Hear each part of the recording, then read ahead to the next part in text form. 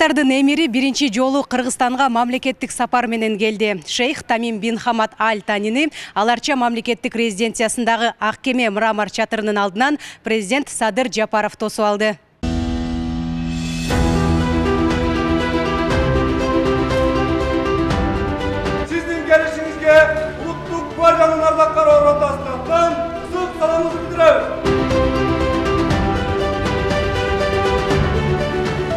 Ардак Карол, Кызыл килем жана желбиреген желек. Мамлекеттик резиденцияда Садыр Жапаров менен Катар эмиринин расмий жолугушуусу болду. Анда эки мамлекеттин гимни жаңырды. Өлкө жетекчилери Ардак Карол ротасынын командиринин рапортун кабыл алып, Катарда айланып өтүштү. Андан соң тараптар делегация мүчөлөрү менен таанышышты.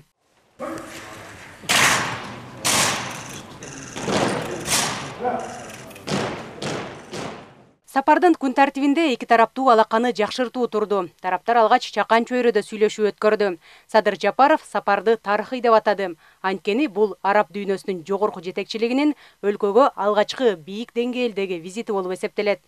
албетте бул сапарыңыз улуу даражалуу кыргыз катар бир туугандык мамилелеринин жаңы барагын ачат деп терең ишенем учурда катар мамлекети натыйжалуу экономикалык жолуна туруп эл аралык аренада көрүнүктүү жетишкендиктерге жетип турган кези дал ушул учурда улуу даражалуу араб дүйнөсүнөн алгачкылардан болуп кыргызстанга келип турганыңыз биз үчүн чоң сыймык жаратып кубаныч тартуулады Эки мамлекет тең мамилени өнүктүрүүгө, саясий диалогду бекемдөөгө дилгерлигин ырастады. Шейх Тамим бин Хамад Аль Тани бул сапардан кийин кызматташтык кеңейерине ишеним артты. جميل هذه أول زيارة بالنسبة لي. Экономика туризм жана башка багыттарда алака жакшырат деген ойдомун биздин өлкөлөр ортосундагы саясий кызматташтыктын алкагында бир катар иш чаралар анын ичинде өкмөттүк деңгээлдеги иш чаралар өткөрүлөт деп ойлойм эки өлкөнүн ортосундагы кызматташтык бийик деңгээлге көтөрүлүшү керек Кыргызстан менен Катардын дипломатиялык алакасынын орногонуна 25 жыл толду. 2012 жылы Катардын Кыргызстандагы элчилиги ачылган, 2016 жылы болсо Кыргызстандын дипломатиялык өкүлчүлүгү Доха шаарында ачылган. Мына ушул дипломатиялык алаканын тарыхында биринчи жолу Катардын эмири мындай жогорку деңгээлдеги визит менен келди. Бул сапар эки өлкөнүн алакасына дем берери шексиз. Катар Кыргызстан үчүн кызматташтыкты арттыруу боюнча приоритеттүү өлкөлөрдүн бири. Мындай пикирин Садыр Жапаров билдирди. 25 жыл аралыгында кыргызстан менен катар ортосунда саясий кызматташтык активдүү жүргүзүлүп ар кандай деңгээлдеги өз ара сапарлар жана бир катар маанилүү иш чаралар өткөрүлдү Э, мындан тышкары э, биз бириккен улуттар уюму ислам кызматташтык уюму жана башка эл аралык уюмдардын алкагында тыгыз кызматташып э, шайлоо органдарына өз ара колдоо көрсөтүп келүүдөбүз Кыргыз Катар кызматташтыгын бекемдөөгө визиттин алкагында жетишилген документтер өбөлгө болмокчу. Алар маданият тармагынан тарта авиация окуу жайларына чейин камтыйт.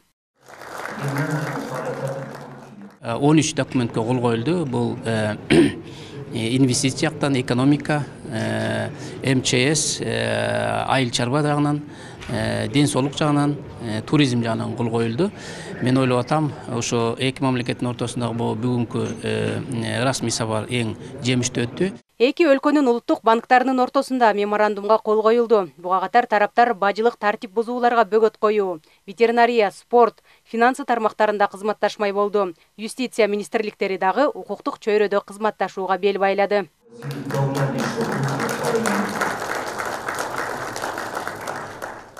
кыргыз республикасынын юстиция министрлиги менен жана катар мамлекетинин юстиция министрлигинин өз ара кызматташуу боюнча келишимге кол коюлду Э, бул келишимде ар кандай бир укуктук багыттарда э, кызматташуу боюнча э, процессуалдык маселе каралды биз ойлойбуз э, ушул келишимден баштап биз э, бир нече э, кадамдарга барабыз Арабтарды таза айыл чарба азыктары кызыктырат. Алардын экспортун көбөйтүүгө мүмкүнчүлүк бар.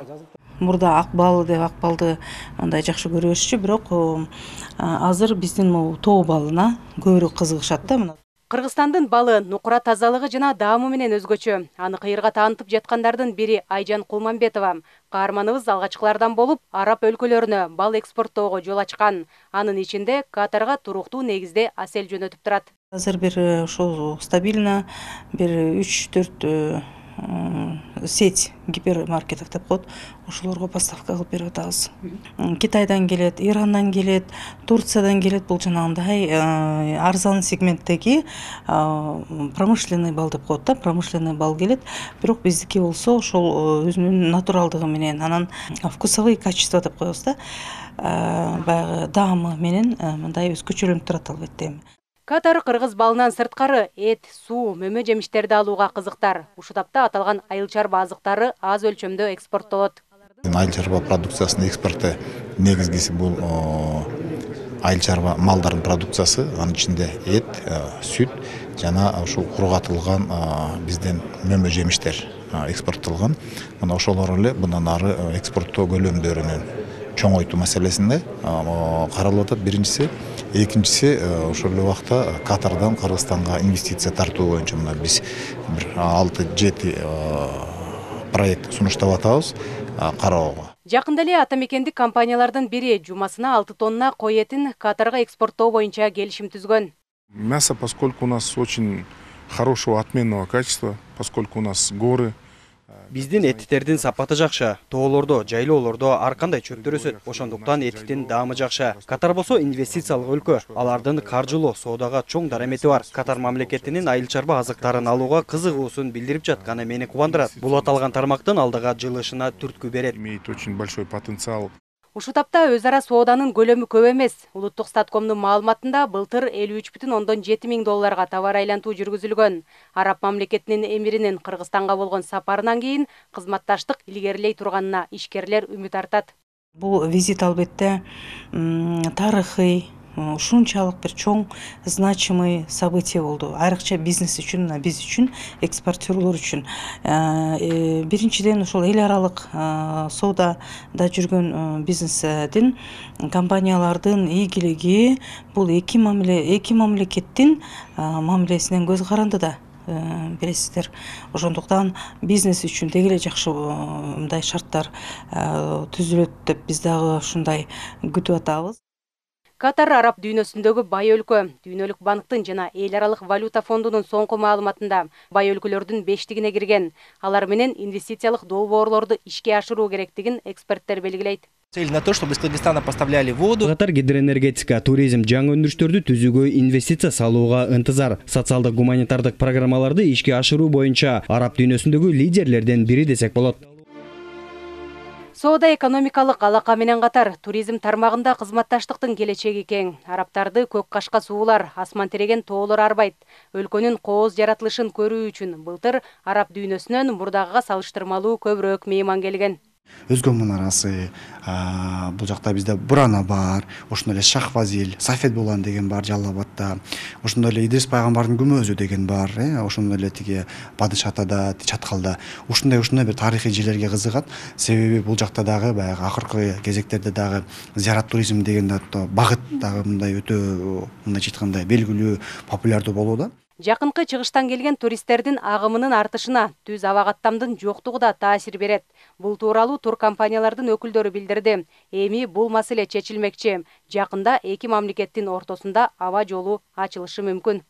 Авиакаттамын ачуу боюнча. Азыр биз өз сунуштубузду киргиздик. Катар тарап ойлонууда жакын арада ошо кыргызстан менен катардын ортосунда биринчи авиакаттамы ачылышы мүмкүн. Андан кийин ошо эки элдин ортосундагы туризмди өнүктүрүү боюнча. Анткени өзүңүздөр билесиздер азыр араб мамлекеттери кыргызстандын жаратылышына кыргызстандын климатына аябай кызыгып атышат. Катардын куш келдиңиз әмірі Езелден сіздей қонаққан елімдің таза пейлі араб дүйнөсүнүн өкүлдөрү кыргызстанды маданиятынын жана диний көз караштарынын окшоштугу үчүн дагы жактырат. Баса алдыда бишкек менен доха шаарында эки мамлекеттин маданий борборлору түзүлмөкчү. Тиешелүү макулдашууга кол коюлду бул маданий борбордорду түзүүдө э, кыргыз республикасы ошо доха шаарында маданият борборун куруу ал эми катар мамлекети бишкек шаарында э, маданий борбор куруу деп белгиленип жатат. Бул э, иш аракеттердин мөөнөтү беш жыл аралыгы деп айтылып жатат. Мындайча айтканда бул маданий борбордун дохадагы ээлиги маданият министрлиги ал эми катарда катардын маданият министрлиги ээлик кылмакчы жана атайын өзүнүн эл аралык деңгээлдеги дагы статусу бар. Чоң бир мекемеге айланмакчы кыргыз катар маданий алакасына токтолсок эки миң он жетинчи жылы бишкекте катардын маданият күндөрү өткөрүлгөн доха шаарында чыңгыз айтматовдун токсон жылдыгына карата адабий кече уюштурулган кыргыз элинин маданияты өлкөнүн кайталангыс жаратылышы аль жазира телеканалынан көрсөтүлгөн абройлуу телеканалдын кызматкерлери дүйнөлүк көчмөндөр оюндарын тартууга келип бир нече материал даярдаган